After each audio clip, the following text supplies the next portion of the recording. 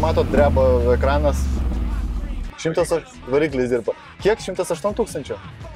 108 tūkstančių eurų. Geras būtas. Dabar važiuojam labai neblogam tokiam būte, netgi senamesti, galbūt trijų kambarių, su parkingu, galbūt netgi po žemynę. Gerai, draugai, šį kartą labai eilinė iš tikrųjų tokia apžvalga. Šio automobilio aš nebuvau gavęs kaip visada dviem arba trim parom prieš tai. Prieš tai važinėjęs šiuo automobiliu gal kilometrą maksimum, pravažiavau ratuką, nes tokios ekstra sąlygos, sakykime. Pravažiavęs pirmą kilometrą, paspaudęs pirmą kartą gazą, netgi nedugno, o kokių gal 30, gal 40 procentų, supratau, kad šis automobilis nėra skirtas kažkokiam dideliam greičiui ir pasivažinėjimui tarp automobilių. Jisai gyvena nu, iš tikrųjų savo gyvenimą, tu paspaudi gazą, jisai daro vieną veiksmą, tu darai kitą. Ta prasme, čia nebus, kad jūs žaisit šaškiam tiesiog, Riaumoja variklis, važiuoja mašina į priekį, bet kad jinai būtų suvaldoma, bent jau ant didesnio greičio, tikrai to nebus, to nelaukit. Iš karto supratau, kad šiandien nebus kaip su A7 arba su kitais automobiliais, kad galėsim biškai palaksyti mieste kažkur, ne, pasižiūrėti būtent tą sukibimą su, su keliu. Čia to nėra. Šis automobilis, mano manimo, yra skirtas tiesiog komfortabiliam tokiam važinėjimui miesto sąlygom, galbūt kažkur išliekti į užmestį, iš tikrųjų neblogas variantas. Pirmas įspūdis. Pirmas įspūdis iš tikrųjų, nu, apie geliką, taip vadinamą, galima vienos ar kitokios būti nuomonės. Jis jums arba patinka, jūs jį gerbėt, arba jisai jums nepatinka ir jūs jo negerbėt, nes tai yra tarsi kvadratas ant rato. Viduj, pirmą kartą iš tikrųjų sėdėjau gelikė, čia nais G63. Viduj, vidus iš tikrųjų mane šiek tiek nustebino, aš galvoju, kad nors ir už tokią didžiulę kainą galvoju, kad bus blogiau iš tikrųjų, galvoju, kad bus gal kokiais kaip 90 metais. Iš tikrųjų maloni tokia oda, malonus vairas, labai malonus. Čia nais viskas viduj panelė yra standartinė, sakykime, Mercedeso, nieko nesiskiria, mėgsta jie e, tokią karbono tarsi imitaciją. Viskas kažkaip pobiški, pobiški pabarš, pabarška, aišku. Savininkas važinėja, kiek tu važinėjai jo?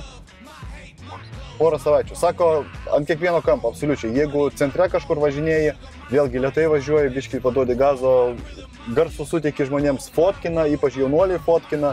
Būna, sako, išeini iš parduotuvės, fotkina stovi, nu, ta prasme, iš tikrųjų toks ištikri, išskirtinis automobilis. Ypač tie, kas supranta, kas tai per auto, tai sustoja, pasižiūri, supranta, kad čia yra AMG. Turbūt pervažiuotumėm per viršų per Citroeną. Nebūtų, kad tiesiog pastumtumėm jį į priekį būtų poratais mūsų. O, sport jaučiasi iš tikrųjų, vos vos paspaudė. Iš tikrųjų, aš kada pra, e, sužinojau, kad filmuosiu šios, šio automobilio apžvalgą, aš tau pasakiau, kad bandysiu nesikekti. Arba bent jau du kartus maksimum galėsiu nusikekti važiuodamas šį automobilį. Tai tikiuosi, limitos nebus išnaudotas. Nes kol kas tai mašina tiesiog pakvaišusi. Jeigu aš galvojau, kad... Gal su kuo mes šiandien važinėjom? Sakiau, kad visiškai nurautas automobilis. Tai toli gražu, nežinau. Jis, kiti bent jau valdomi. Jisai tiesiog važiuoja, spaudi, lekia belė kaip. Beje, kas, kas nustebino, tai kad jeigu eko režimas yra įjungtas, ne, nežinau kiek iš tikrųjų jisai tada ryja, bet jaučiasi kaip paprastas automobilis. Dirba tyliai, e, garso izolacija visai nebloga, kamštai pastovėti arba, sakykime, jeigu nupirksit savo... Kosmosas. Jeigu nupirksit savo žmonai tokį automobilį, kad jinai važinėtų su vaikais į darželį ir atgal, tai irgi variantas su eko režimu tikrai jausiasi jinai patogiai, komfortabiliai, nesijaus kažkaip kaip ant čioperio tarsi sėdėdama. Nustebino dar vienas dalykas, kad apsaugos, labai žemos apsaugos. Būna važiuoju, iš tikrųjų, man atrodo, ir neblogas greitis, bet labai gerai dėžė padaryta, pusantro tūkstančio būna apsaugos, iki dviejų tūkstančių. Bet netgi jisai taip, su tokiam apsaugomis ir netgi ir taip sugeba kažkaip suvalgyti virš 20-30 litrų. E, kas liečia, pamažu turbūt apie kiekvieną iš aspektų, kiek per dvi valandas dabar, kiek esu važinėjęs jo. Vairavimas. Kaip ir sakiau, vairas nelabai ką klauso, iš tikrųjų nėra taip sureguliuotas kaip sportkarė, kad vos vos pasukot, jūs iš karto vairą ir jaučiasi automobilis juda tinkama linkme. Iš tikrųjų, čia nes liūtas labai didelis, o dabar kaip matot, mes dabar tiesiai važiuojam. O liūtas yra štai toks maždaug.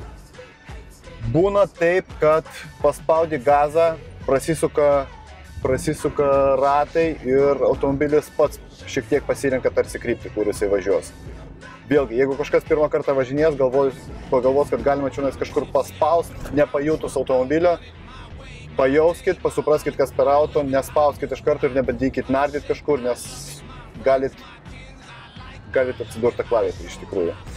Mercedes automobilis tiek e, artimuosiuose rytuose, tiek Rusijoje. Jeigu Rusijoje tai skaitomas e, vos ne, sakykime, tai banditai kažkaip tai važinėja, tai artimuosiuose rytuose tai tarsi toks prestižo reikalas, jie labai mėgsta, kiek žinau, e, Land Roverius ir labai mėgsta G klasę. Na, nu, aišku, tenais pinigų kiekį ir pinigų srautai skiriasi, tai jie ten turbūt paprastų dizelinių nepasirinka G, G klasės, tai visada AMG ir eina. Taip, stiklas, pagal aukštį. Manau, ūgis standartinis 1,82 m, čia nais drąsiai koks nors krepšininkas tilptų, aš įsivaizduoju, netgi specialiai ir e, perka didesni žmonės tokius automobilius. Pagal plotį nėra platus automobilis, aš gan siauras žmogus, bet čia nais vietos galbūt netgi šiek tiek truktų, jeigu būčiau plus 10 kg arba plus 20 kg. Į aukštį už tą tikrai krepšininkai tilptų, viskas būtų ok. Gale vietos, kaip ir visose turbūt visuriugiuose, beveik nerasta. Odinis salonas, aišku, visi įmanomi privalumai, šildomius sėdynės, masaž, masažas yra, viskas yra remontuota. Čiunais rankena turbūt, kad pasilaikytų keleivis, laikytųsi jūsų kelionės metu. Garsas žiauriai malonus. Reikia suskirstyti turbūt visų automobilių garsus į kelias dalis. Aišku, yra superkarai, tokie kaip, pavyzdžiui, italų gamybos. Lambo, Ferrari jie turi vienokį garsą. Po to eina, sakykime, kažkas iš standartinio, pat, arba, nu, japonai irgi, šiek tiek irgi skiriasi garsai to paties GTR. Ir po to eina gan standartiniai garsai, bet geresnių variklių, ten, sakykime, 3 litrų, 3,5 litro, BMW, Mercedes vienoks garsas. Čionais garsas visai kitoks, aš taip įsivaizduoju, joks kitas automobilis kažką panašaus galbūt ir turi, bet identiškai nebus. Labai primena motociklą, gerą, gerą čioberį. Vėlgi draugas sėdi šalia, sako, E, labai keistai žiūri motociklininkai, jeigu šalia pravažiuoja ir šiek tiek pradedi gazuoti, tai jie taip labai įdomiai pasižiūri tave, tarsi, žinot, pas juos yra toks patinsidžiavimas, jau garsas tas. Tai va šitas gelikas, jisai irgi skleidžia labai labai tokį panašų ir labai gerą garsą. Dabar klausiu draugas, sako, apie ką dar galima papasakoti. Sako, papasakok apie priekinį stiklą. Matot patys, kad forma yra kvadratinė, tai reiškia aerodinamikos yra nulis labai mažas stiklas surenka absoliučiai visas muses. Ir aš taip įsivaizduoju, nuvažiavus iki Klaipėdos, aišku, reikėtų užsipilti vieną kartą kaip minimum pilną baką, bet surinktumėt uimą visokiausių vabžių bei musių. Jisai tiesiog vietoje juda. V8. E, stiklai dreba. Bu... Liuftas toksai nemažas yra, iš tos pusės netgi turbūt didesnis liuftas. Ar to, ne, ar to galima būtų išvengti? Aš taip įsivaizduoju, galima to išvengti. Iš tikrųjų, Mercedesas, jeigu galėtų, tą viską, visą panaikintų, visas tas nesąmonės. Bet vėlgi, aš taip įsivaizduoju, čionais yra tiesiog tarsi tokia klasė, kad čionais yra leisinos tokios klaidos ir žinot kaip ir futbole. Daugelis e, peikia futbolą dėl to, kad tenais iki šiol nepriimtos kažkokios tai taisyklės, sakykime, kad galima būtų pamatyti e, offside ir taip toliau. Bet visa, visas, fut, visa turbūt futbolo esmė yra tokios klaidos. Vėlgi, jeigu būtų jau panaudotos futbole e, naujausios technologijos, tai mes nežinotumėm, kas yra Marado, Dievo ranka, ne padaryta Maradonas. Vėlgi, kiek buvo įvardžių įskaityta, kiek neįskaityta, nu, specialiai tai yra tarsi, tarsi toksai subtilumas. Tai čionais aš taip įsivaizduoju, absoliučiai yra tas pats. Visos tos tarsi klaidos, tas e, aerodinamikos trūkumas, visiškai jos, ne, jos nebuvimas, tai yra tiesiog toks subtilumas, už ką ir moka žmonės pinigus. Būtent tas nevaldymas šio automobilio, ar nu, visiškas nevaldymas. Įsivaizduokit, sakau, geras, geras būtas dabar ant rato ir jisai labai prastai yra valdomas. Bet tai yra tokia subtilybė, už ką žmonės ir mėgsta G klasę, už ką moka pinigus. Ir jeigu aš neklystu, tai G65, šiandien yra šiam trečias, jisai yra galingiausias berots gaminamas automobilis, neįskaitant sportkaro, nes tenais Visų pirma, jo kaina 270 berots eurų siekia netgi, tai reiškia jau beveik milijonas litų, 900 kažkiek tūkstančių litų, tai įsivaizduokit. V12 tenais, jo, tai jeigu čia V8, tai tenais dar vienas neblogas variklis, dar keturis cilindrus prideda.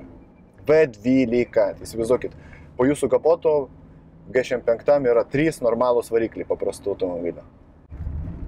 Bet žinot, kam reikalas? Esmė, esmė tame, kad net nesinori kažkaip agresyviai jį vairuoti, nesinori kažkur užlyst, nesinori tarsi pasinaudoti kažkokiais privalumais, kad jisai aukštesnis, kad jisai brangus, kad kažkas tave praleistų.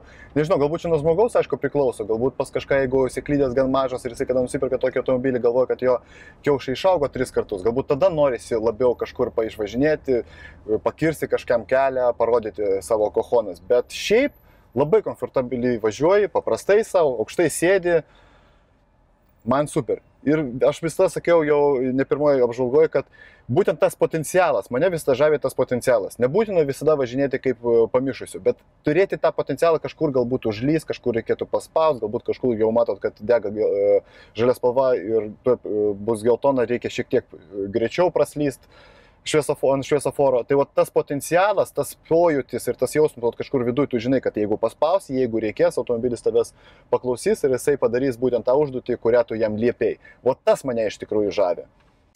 Jo, čia nes aš draugai po to jums nufilmuosiu, jūs pamatysit. Ne, e, realiai, tai už 108 tūkstančių jūs neturit po su šikto podelio laikikliu jūs neturit. Jūs jį turit, bet jisai va čia. A, iš manos pusės net nėra. Jisai tik tai čia nais. Ir toks grinai krepšys. Aš pas mane čia nais e, garsas įrašinėjasi iš prisėgiamo mikrofono. Galvoju, blem, baidėtuvė įdėsiu kažkur. Nėra dėtuvės, hebra. Nu, sakau, stilius. Čia yra tiesiog padaryta, kad nepatinka, nepirk. Aišku, jeigu tau nepatinka ir tu neturi 200 tūkstančių eurų tiesiog automobilių, tai jo ir neįpirksi. Ir, gali, ir aš galiu čia kalbėti vos ne visą dieną, koks jisai prastas, ko jisai neturi. Bet faktas yra tame, kad negali sauliaisti, mažiau ir kalbėk. Bet to tokios smulkmenos jo. Bet čia toks jausmas, kad ten, kur rašo, kiek kilometrų liko pravažiuoti iki tuščio bako, kaip e, laikmatis, atgal tiesiog. Mažiau, mažiau, mažiau, mažiau, mažiau. O, minus vienas. Minus vienas. Minus vienas. Nespaudžiu, važiuoju visiškai. Normaliai.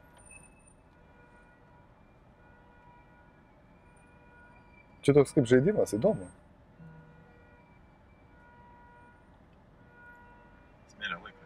Grinai smėlio laikrodis. Galėtų netgi tokią grafiką nupiešti ir viskas. Tiesiog smėlis tarsi bėga ir viskas. Minus vienas.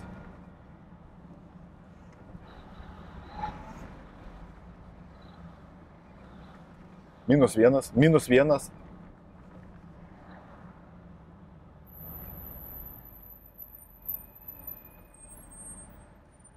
Minus vienas.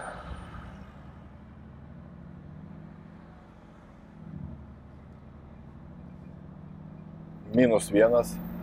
Čia gal uh, skilė yra kokį bakė? Mes važiuojam ir ten gal išsipila jisai. taip, Minus vienas, 2, 3, 3 jau, 2, 3, 2. 2, 3, 1. What the fuck?